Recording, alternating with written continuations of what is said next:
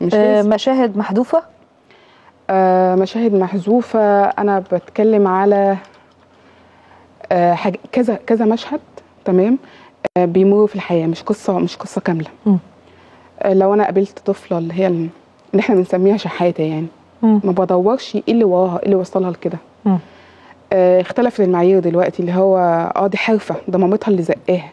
ما عدتش زي زمان إن أنا باخد إن الطفلة دي ممكن فعلا تكون مش معاها حد خالص وهي ماشية كده.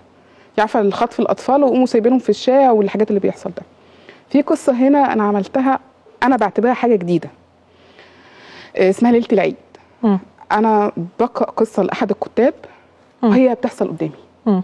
وأنا فاتحه الكتاب بقراها وقدامي بتحصل نفس القصة. مم. ده إزاي؟ آه، آه، أنا دخلت كاتب موجود في الوسط حاليا. ما دخلتش حد ميت. الحمد لله يعني بحب أحتفي بحد موجود. آه، الكاتب محمد صلاح. آه، كاتب قصة اسمها بسمة على شفاء الموت. بيتكلم على آه، ال- الشحاذين في القطاط. اللي إحنا بنقابلهم كتير ومش عارفة إيه كده. فأنا شايفة إن البنت جاية وبترمي عليها الحاجة ويا ابله هاتي فلوس هاتي مش عارفة إيه هاتي كذا كذا كذا. والبنت دي ماتت في الآخر فهي نفس التناول القصة. فقمت جايبة الاتنين مع بعض. في آه، عادات بالية. عاداتنا بقى اللي هي عارفة اللي هو إيه اللي بيضايقك قوي في عاداتنا؟ أنا عارفة في حاجات منها كتير مستفزة. كتير. كتير على. بيتك يا بنتي ظل راجل ولا ظل حيطة مع إن الحيطة بتبقى أحسن من الرجاله في أوقات كتير جدا جدا. آه، بتحمينا من الغرباء يعني الحمد لله.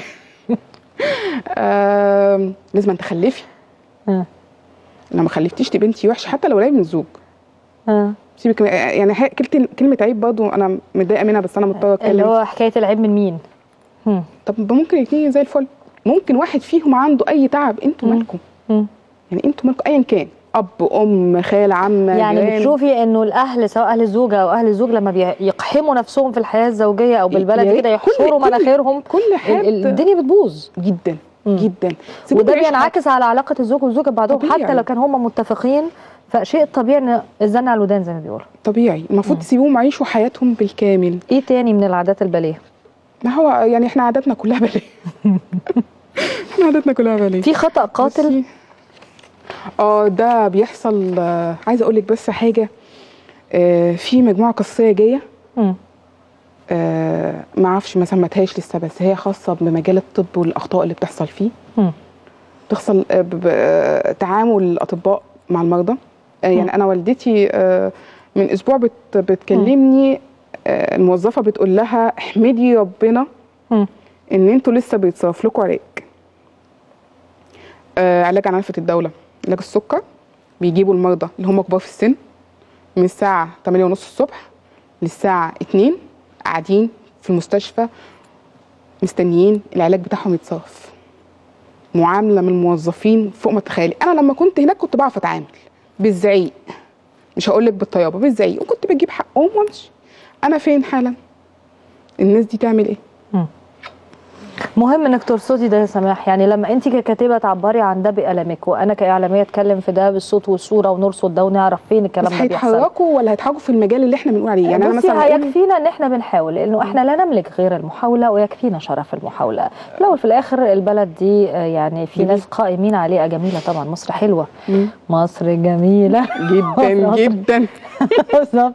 أنا كنت أنا جوزي كتب شعر كتير في مصر فما تقلقيش ده هي يتكتب فيها أشعار الدنيا أصلا. يعني ضعيفة جدا. نقطة ضعفي الوحيدة في الدنيا هي البلد دي.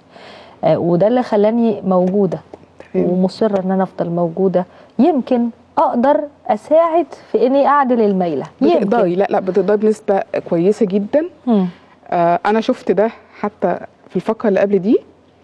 وانت بتسألي كان لواء بتقولي له هي النسبة كام أصلا؟ أنا كنت بقول الجملة دي برضه. آه، دايما أنا من خلال البرنامج يا سماح بحاول أقرأ دايما آه، أذهان الناس بيفكروا في إيه؟